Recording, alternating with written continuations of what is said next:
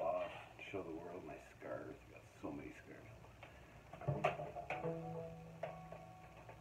I've got so many scars.